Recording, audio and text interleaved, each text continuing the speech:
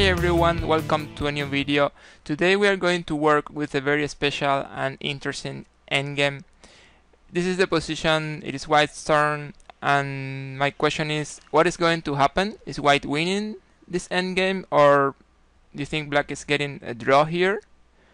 Just to be clear, this pawn advances like this, as this pawn advances like this. So, you know, uh, what is going to happen? Um, take your time, work a little by yourself, and see you in some seconds. Okay, it is more or less clear that white has nothing better here than promoting to queen here, and the same goes for black. So we're going to transpose uh, to a king and queen versus king and queen endgame here. So before we continue, we should uh, make a pause here and analyze some basic position some really important position you should know. This is the situation I want to analyze with you and we are going to use this in the solution of our endgame today. In this position it is white white to move and after king g3 we have a mate net here. White is going to win, there is no way for black to stop mate. As you can see white is threatening mate here, here or here. And this queen is very passive the same for the king. is in a very bad situation. And as the queen is so passive, the, there won't be a good check with the queen to get rid of the mate threats. So uh, the checks here are like this, or maybe um, let's say like uh, this. And all those checks are bad. And black is uh, losing the queen. So there's nothing black can do here to stop or avoid the mate threat here. So let's go back to our position, but don't forget this basic situation. So white is going to promote here, and black is going to do the same. And then we have this position. Usually king and queen versus king and queen is going to be a draw, but actually this position is going to be winning for white. The problem is, as we said when we saw uh, the basic position, is the queen is too passive and also the king is in a bad situation there.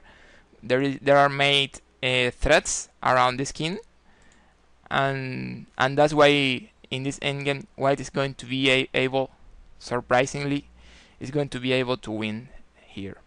So the right move here will be queen f3, and then white has two options. They can play king h2 and they can play king g1 but it's actually pretty clear that after king h2 there is mate in 1 because white can play here queen g3 so we're going to focus on king g1 and now there is another special move for white to win here. And it is going to be this queen e3 again black has some options. Black can play here king g2 king h2 or king f1 but King h2 is the same, mate, with the queen on g3.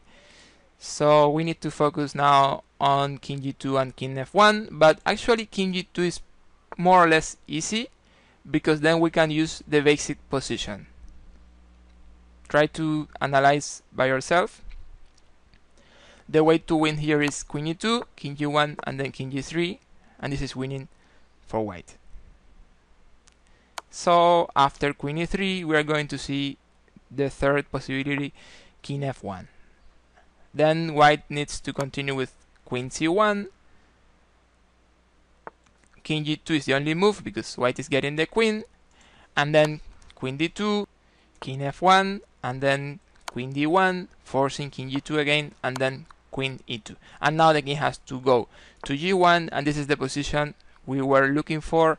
Now white can play king g3 and win the endgame with some unstoppable mate threat here.